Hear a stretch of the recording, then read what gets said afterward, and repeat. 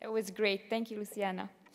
And now on to another fantastic project on the topic of resolving urban water shortage issues. I'm delighted to introduce to you Mr. Enrique Lomnitz, co-founder and executive director of La Isla Urbana, who joins us from Mexico City. Thank you. Hey. Hi, good morning.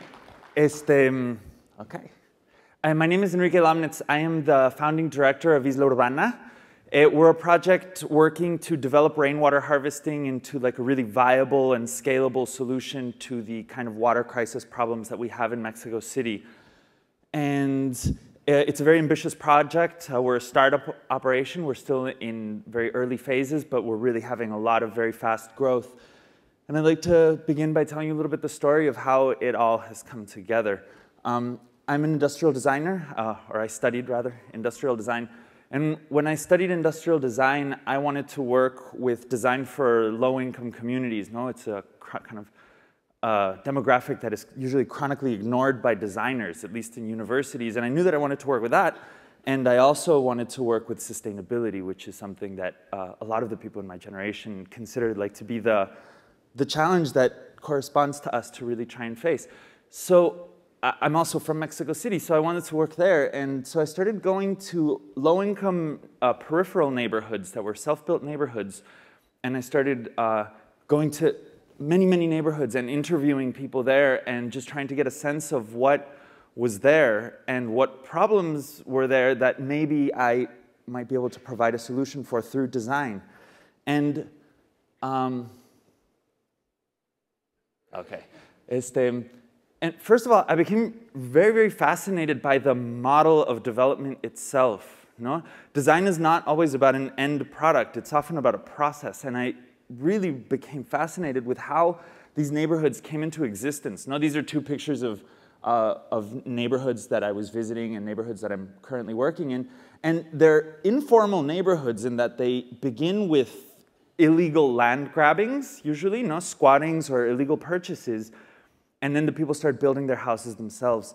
And I found it to be a really incredible process because I was asking myself, how do these poor people who don't have access to mortgages, don't have access to credit of any kind, are outside of all of the formal sectors, how do they end up having these you know, permanent, not even so small houses, no? And, and they never have any money. So I started talking to people about this and I became fascinated with it. And basically what they do is at the end of the day, whatever few pesos they have left over, they buy some bricks, they buy some laminates, and once they've built up enough of it, they build a room, and then they keep on doing. Once they've built a little bit more, they add another room, and they kind of build them like coral reefs. No, they kind of build them on each other because they can't save any money because they're all networked together so that if you don't have a job, your your neighbor feeds your kids, and, and it's all networked that way, so they can't save any money because as soon as they have any little bit of money, it becomes needed by themselves or someone and gets used. So they're putting all of their money into physical infrastructure, even if it's just literally bricks, and, and that's how they grow. And I thought that this was really fascinating. And what was, I think, more fascinating was that this is how they were building their neighborhoods as well, not just their houses, no? So the picture on the, on the right-hand side is a neighborhood called Tecalipac in Xochimilco, and they've done everything. They've paved the streets themselves, um, they've put in all the electricity themselves. They've literally done everything themselves. No? And I thought that that was very interesting. And something that I started noticing in all of these, uh, in all of this research really, is that everywhere I went, people were talking about water.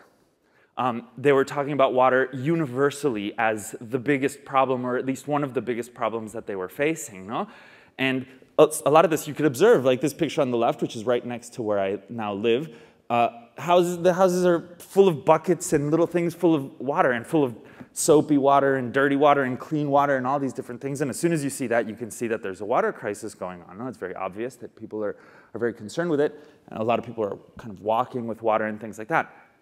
And that was, that was very interesting to me. But what was more interesting than the fact that there was a water problem even was the fact that the water problem that I observed was behaving differently from the other problems that I was observing. No? So the infrastructure was being built by the communities themselves in collaboration with the government. No? So for example, um, my neighborhood, when it came time to pave the streets, uh, they, the government didn't have enough money to come and pave all the streets. So the people leveled the streets. No, they, they took out the rocks and they made it level. And then the government came with trucks of gravel and asphalt. And then they gave them the tractors and they said, you have until Wednesday to pave the streets because then we're giving the machines to the next neighborhood over. And then the people went and paved all the streets. So there's all these kind of interesting models. And all of the infrastructure was on a progression towards improvement, no, albeit slow. The streets go from being unpaved to being paved to having sidewalks. The electricity, at first there's no electricity, then they're stealing the electricity, then the permanent electricity comes and, and all of the services were improving, no? Uh, except for water. Water was moving the same way. There was no water and they had to carry the water, no? And then they eventually got lines, tap water, one on every block. And that was a lot better. And then they got water in all the houses. And that was like, okay, so now we're okay. And they were getting water maybe three or four days a week. So they just fill all their, all their buckets and all their barrels, and that was good. But about 15 years ago, houses that were getting water three or four times a week are now getting water maybe once a week. No? So it was the only thing, and I was drawing these things on graphs as I was interviewing people, and water was the only one that was starting to decrease. And I started thinking that maybe we were really reaching a point when, when maybe something was different. And I started really looking into how the water situation works in Mexico and really came to the conclusion that we were reaching a point where the system was so unsustainable, and it really is so unsustainable, that we were actually reaching the point when it was failing to sustain itself. No? Uh, and ironically, at the same time, I was like, this is Mexico City. You know, this is a city that used to be a giant lake. It was called the Inland Ocean when the Spanish arrived, a giant lake. And we've spent 400 years trying to drain this lake uh, out into a River Tula and into the ocean, and the lake keeps on wanting to come back.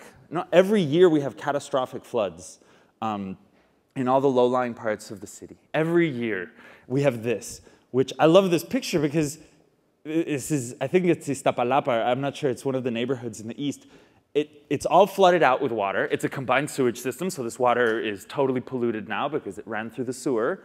Uh, and this guy is bicycling with these water bottles, which is like the water that we're all struggling to have for our own use, no? And this is the very ironic kind of water situation in Mexico. We have scarcity and we're flooding at the same time. And so observing all of this, I said, there has to be a way that we can harvest rainwater in Mexico City. No? I don't know anything about rainwater harvesting, but I'm sure it's not rocket science. I'm sure I can figure it out.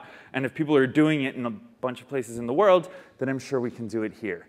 And so that's when I started really thinking about rainwater harvesting. And uh, throughout my research, this woman was very, very important to me. Her name is Clara Gaitan. And she's a Mixtecan Indian who migrated to the city as a little girl, like the classic story, uh, came to the city, uh, worked very hard, obtained a little piece of land illegally, but you know, held on to it and raised her daughter and built her house. And she's now my like surrogate grandmother or something. And, and she was really amazing to me because she had an incredible consciousness about water. And she has no education, but we'd stand on her roof and you can see the whole city, no? Because it's up on, the mount, on, on, these mountains, like these neighborhoods. You can see the whole city. And she said to me, uh, I don't know where the water comes from in Mexico City, really, but how can this many people be using water and have it not run out?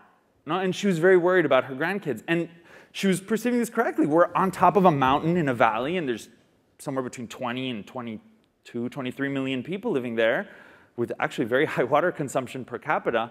And, and we really are running out of water. And she kind of perceived that. And so we put a rainwater harvesting system in our house. Um, uh, we, we put it up together with a, a friend of mine, and it transformed her situation. It really did. She went from never having enough water to having more water than she could use for uh, six or seven months out of the year um, with a, a, pretty small cistern. And so she was very inspired, and I was very inspired. And so I moved uh, across the street from her, and we started putting up rainwater harvesting systems with her neighbors. Um, and from then on, the whole project has been how do we actually take this thing that started so very modestly with one person and was reached very organically, how do we take this and actually make it into something that can scale and grow into everywhere, you know? Uh, Mexico City and, and even beyond in the future. And, and that's really what we've been working on now. And um, basically, other people started becoming inspired by the project and moving in to live with me. So now we have a, a team of people that are working on there. And we've been working on how to get rainwater harvesting to grow, but in this kind of organic way. No, we're not trying to install all the rainwater harvesting systems in Mexico ourselves. We're trying to catalyze communities to start building their own rainwater harvesting systems. So it's a, a strategy that has many uh, lines working. And in brief, because I really don't have as much time as I'd like, um, this is what they are. First of all, we have to develop effective and accessible rainwater harvesting systems that are adapted to the conditions that we have there, no? which means they have to be affordable to people, but people also have to like them. It can't be garbage. No? People have to like them, and they have to provide high quality water and they have to work well. So um, basically what we have in Mexico City, which is fantastic, is that because we have all this intermittent water service and chronic water shortages, people have been building cisterns. So the city has millions of cisterns already built. So we're working on developing rainwater harvesting systems that will connect the roofs that already exist to the cisterns that already exist with a very simple system that will filter, channel, and clean the water on its way in so that when it rains, instead of flooding out our neighborhoods, two million cisterns can fill up in Mexico City. So we need to develop the technology, and we're working on it. This is, a, a pro, our, this is going to be our first, the Tlaloque, it's going to be our first industrially produced component. Right now we've been working more artisanally, no? But we're working on that, and so we're working to develop these systems and testing them, and they're working very nicely. Um, the other part is intense work with the communities, very, very intense work with the communities, constant work with the communities. No, the communities all know that they have this water problem. I mean, we knew that before we started working on this, no? So we go and we tell the people that we're working on this, and the people come and we explain the project to them, and we start working together to, uh, to start putting up the systems. So the picture on the right, a community meeting, that's one of my partners, David. Um, we have those maybe seven or eight times a week at least uh, all through the periphery of the city. And we also do kind of more artistic work with kids and things like that to really try and just kind of bring people in uh, and include everybody. Um, it's all based on training local plumbers. I mean, the installations themselves. All these neighborhoods are full of plumbers and electricians and all these people that have tons of skills. Um, we want it so that every neighborhood in Mexico City has rainwater harvesting technicians, no? Uh, so plumbers are also this. And so our, uh, all of our work really is done through training and employing local plumbers. At this point, we've probably trained 40 or 50 plumbers into rainwater harvesting technicians in southern Mexico City, and some of them are really at a very high level at this point. Um, we work with the community leaders. This is a really very incredibly important part. The communities are, the community leaders are, are super important characters in pulling the community and organizing the community. We work very closely with them to, to really have it happen kind of from the ground up. Um, and well, we collaborate with governments, businesses, universities, and other NGOs to do research on water quality, to really develop um, all of the things that need researching uh, to finance ourselves and the project, to give it publicity and uh, diffusion, I don't know how you say it in English, um, and to test different models of implementation. And that's where we are right now. Um, we've put up about a thousand rainwater harvesting systems in the last two years, uh, and it's and it's growing. And right now we're testing several different models. And this is the systems. I mean, just a few of them, uh, and how they look. And I'm about to run out of time, but really the idea here is for every house, for houses in Mexico City and eventually other places, to have rainwater harvesting systems as part of their basic infrastructure. You know, like the way they have a boiler or the way they have you know, a gas tank or whatever. And uh, it's about providing the technology and training the people and giving it um, publicity and getting people talking about it in such a way that people eventually start just kind of doing it themselves in a very organic way. And what we're already observing is we go into communities and we put up rainwater harvesting systems and we start seeing, when we come back maybe a month or two later, kind of knockoffs of the systems, no, like uh, copy, like pirate systems and things like that starting to come up. And that's exactly what we're looking for. And so far, it's been very successful, and, and we're growing, and I mean, there's very much still a lot to do, but it's a very simple technology. We've been talking about high tech and all these things, and I think that that's very important. But a lot of it is also very low tech stuff, um, but that's intelligently designed, I believe. And smart cities aren't just, you know, apps for your iPhones. It's also a city that is integrated into its hydrological cycles, and that when it rains, the cisterns fill up instead of everything flooding out. And doing it in such a way that, that even people that have very low levels of education, but they're not any stupider than, than people that are educated, they just didn't have access to it, they can really learn how to do this and they can do it themselves. And we're just trying to kind of catalyze it and get it running. And that's Isla Urbana, and that's what we're doing. And thank you very much.